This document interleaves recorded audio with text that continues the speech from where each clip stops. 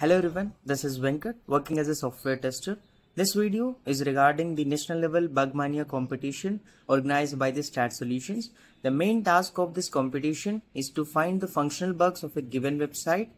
Being declared as a winner of this competition makes me immense happy and I won 15,000 rupees and my sincere thanks to STAD Solutions for conducting this type of events and I hope STAD Solutions will conduct many more events and workshops which boost the testing community. Thank you.